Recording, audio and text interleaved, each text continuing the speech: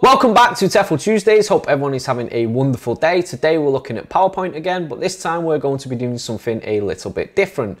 I've put together a selection of interactive slides that you can copy and paste into your own PowerPoints. As I've said before, most classrooms these days have a computer and the screen and PowerPoints are a great teaching tool. They're also great for games and there's plenty out there to be picked up on the internet.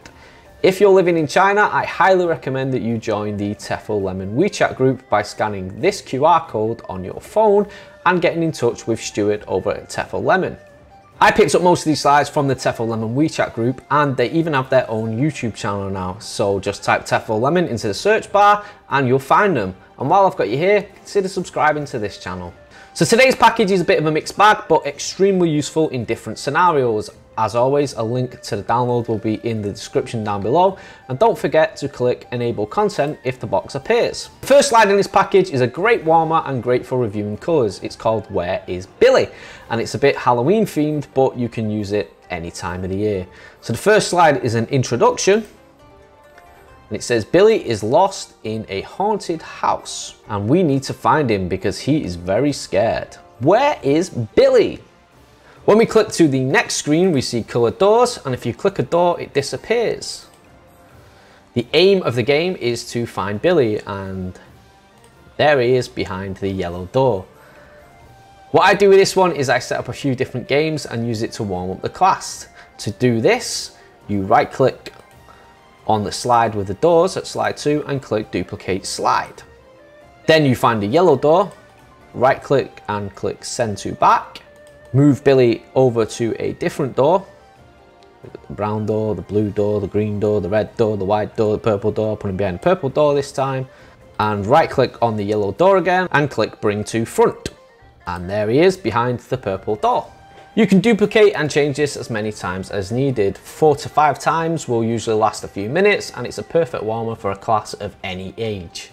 The next slide down on slide three is a similar game to this, but this time we have to find Sally and all the doors are labeled with names of rooms in the house. So first we find Sally, there she is behind kitchen door number one.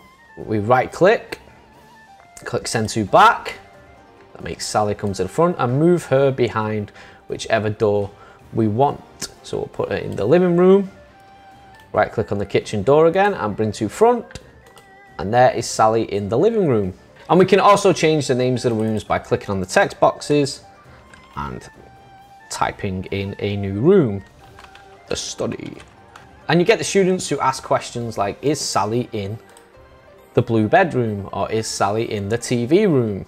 Yes or no. And you click it, yes or no. The team that finds it gets some lovely points. The next slide is a classic game of Guess Who.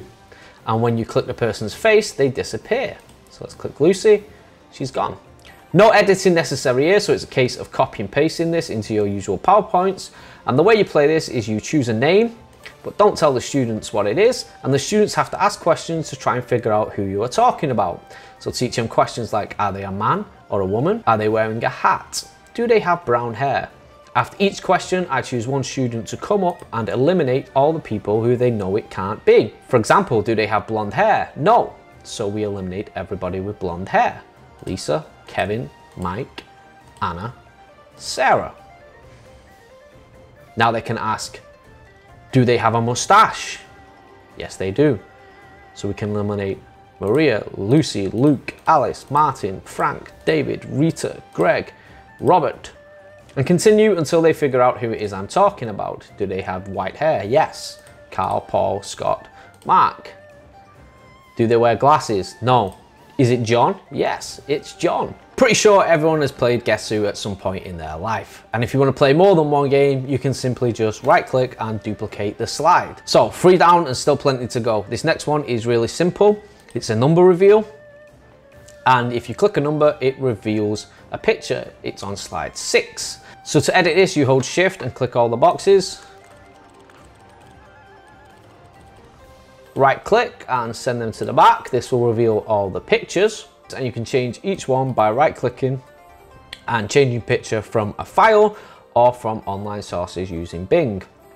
And then to put them back, you hold shift, click all the pictures again and right click, send them to the back. So when you play the game, click six, it's a horse. Seven, it's a bike. Two, it's a hamburger.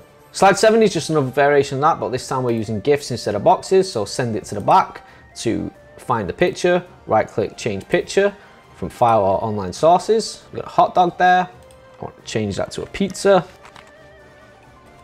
And there we go, it's a pizza, right click, send it to the back again. Now number six is a pizza.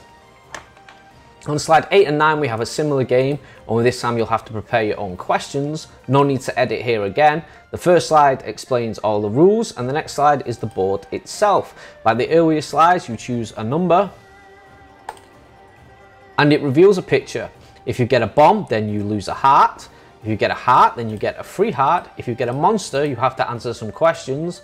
If you answer the questions right, you get three hearts. And if you get a tornado, you also have to answer some questions, only this time you will get five hearts if you answer all the questions correctly. This one will require you to have some other resources and questions readily available. Another great warm-up or end of lesson game for you there. Slide 10 is a big wheel that you can use to distribute points randomly. You click the big button to spin the wheel.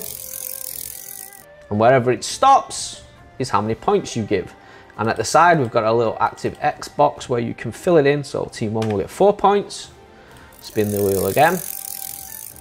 Team two will get seven points and you just use your keyboard to insert the points. If you've only got two teams, you just simply ignore the other boxes. So team one now gets one point. We'll change that to five because five, four plus one equals five. See how good I am at maths. And team two gets four. So 7 plus 4 is 11. Team 2 now has 11 points. Slide 11 is a brilliant slide for teaching appearance. You can give the students a description and ask them to choose the right parts to make up the face. For example, brown hair, blue eyes, ears like a rabbit, a big nose, and a small mouth. And you can tell the students the descriptions and bring them up to click all the right parts. If they get it wrong, don't worry, you can remove it by clicking on the part again. So the brown hair, we'll remove that. We'll remove the ears and change them for big ears. We'll remove the blue eyes for the green eyes. And we'll move, remove the big nose for a red nose. Then you click all the parts that are on the face to remove them and start again. You can edit this by changing the pictures, but it's pretty nice as it is. And you have to make sure that if you change one of the pictures here, that you use the same picture for the button. Slide 12 is great for teaching how to order food or doing restaurant role play. You get the students to role play as waiter and customer. May I take your order please? Yes, I'll have a pizza, a salad and a cola. Click the pizza and the pizza appears. Would you like anything else, sir? Oh, I'd have an apple pie with milk and a hot dog, fries and a cola. That'll be um, $25 please. That's embarrassing cut that out, so I did that really quick. That'll be $25, please. And you can remove the pictures by clicking on the words again. So the hot dogs disappeared, the apple pies disappeared. Let's add some noodles and a hamburger and a pizza. You can change the pictures, but you have to make sure that the buttons match the pictures. So if you change the hot dog on the left, you must change the hot dog on the right. Slide 13 is another version of slide 12. You can change the pictures, but you have to make sure that the buttons match the pictures. So if you change the hot dog on the left, you have to change the picture of the hot dog on the right. And use this in a similar way to teach children how to order food or to role play working at a snack bar. May I take your order, please? Yes, I'll have a hamburger. Would you like a combo? Yes, I'd like a small drink and an apple pie. That'll be $8, please. Thank you very much. And the final slide is a fruit shop that you can, again, use to play shopkeeper. So you, you click the apples, it drops the apples in. How many apples would you like? And you can use this little spin wheel by clicking the arrow here to decide how many apples you would like. I'd like four apples, please. That will be 4 UM. And the final slide is the fruit shop again, only this time it is using SpongeBob SquarePants as a sort of reskin. And that's everything for today. If you've made it this far, then thank you. Hope this is as useful to you as it has been to me. If you use it, then please let me know by dropping a comment down below. If you want to see more TEFL videos, then consider subscribing to this channel. Check out my other content. I'll be dropping at least one new video every Tuesday. If you have any resources or games or TEFL advice, then please feel free to email me at tefltuesdays at gmail.com and I'll probably feature you in a future video. Drop a cheeky like if this has been helpful or a dislike if it hasn't. Stay tuned for more videos and remember, don't do anything I wouldn't do.